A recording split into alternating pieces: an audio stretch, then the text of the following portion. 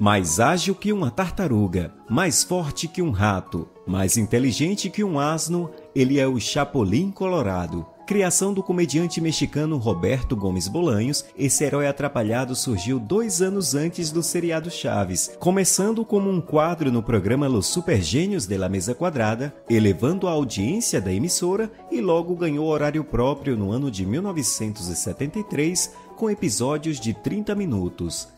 Se você quer saber algumas curiosidades sobre esse personagem, continue assistindo a esse vídeo de 10 curiosidades sobre Chapolin Colorado. Durante o processo de criação do personagem, Chespirito gostaria que o uniforme dele fosse verde e o nome seria Chapolin Justiceiro. Porém, na emissora onde trabalhava, haviam apenas quatro cores de tecido: o preto, que era muito fúnebre, branco, que prejudicaria a iluminação, azul, que seria impróprio para os efeitos especiais do chroma key, e vermelho, que acabou sendo a opção escolhida. Além disso, no início, o traje de Chapolin possuía duas asas, Porém, depois de um tempo, o traje foi renovado e retiraram essas asas. E quem confeccionou o uniforme de Chapolin foi Graciela Fernandes, a primeira esposa de Roberto. Ah, esse personagem foi oferecido para vários atores, que felizmente não aceitaram interpretá-lo, pois não se interessaram pelo papel. O nome do pai de Chapolin Colorado era Pantaleão Colorado e o da sua mãe, Luísa Lene e seu nome completo era Chapolin Colorado Lene. E a palavra chapolim provém de um inseto que é uma espécie de gafanhoto de cor vermelha que inclusive é utilizado na culinária mexicana que costuma ser consumido frito ou refogado em diversos pratos.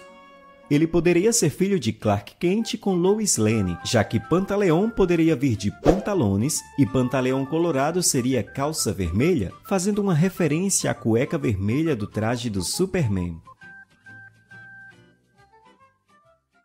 Esse personagem leva as letras CH no início de seu nome, como a maioria dos personagens criados por Chespirito. Além disso, sabia que Chapolin é primo de Chompiras?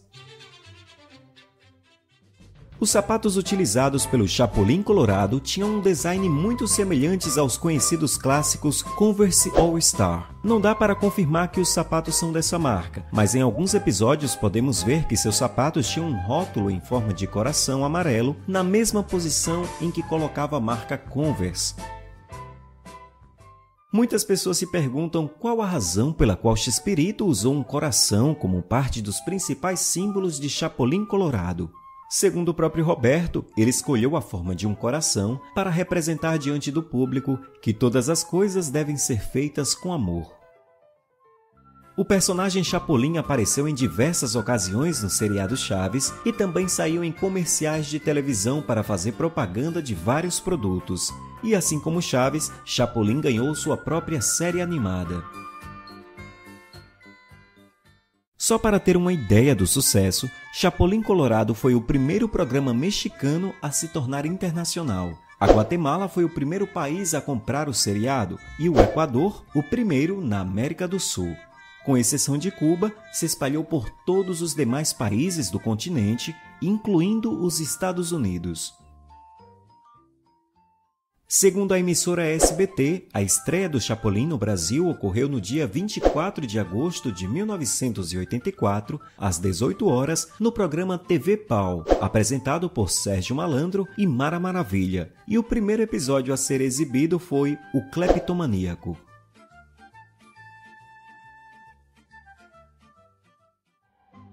O criador de Os Simpsons revelou que criou o personagem Abelhão após assistir Chapolin na televisão de um motel na fronteira entre os Estados Unidos e México. Dos personagens que criou, esse é o mais parecido com Roberto, segundo ele mesmo. Roberto já declarou diversas vezes que o seu maior defeito era o medo, mas assim como Chapolin, mesmo com medo, ele enfrentava os problemas. Durante o episódio 20 mil beijinhos para não morar com a sogra de 1979, Roberto acabou se machucando de verdade depois de tropeçar em uma parte do cenário, o que acabou ocasionando um corte no supercílio, onde ele foi obrigado a gravar os episódios seguintes usando um tapa-olho para esconder os pontos. Esse ferimento contribuiu para que Bolanhos decidisse terminar com o seriado naquele ano. Ele estava com 50 anos e achou arriscado continuar interpretando o herói. Mas apesar de ter anunciado o fim do personagem, Bolanhos voltou a gravar em 1980 dentro do programa Chespirito até o ano de 1992. Roberto, com sua genialidade, criou um herói diferente de todos os outros. Medroso, atrapalhado, baixinho, fraco, magro e outras características que poderiam torná-lo inferior aos seus inimigos. Mas a sua vontade de ajudar as pessoas indefesas é maior do que qualquer fraqueza que ele possua. Se você gostou desse vídeo, deixe o seu like, compartilhe com seus amigos e inscreva-se no canal. Um grande abraço e até mais!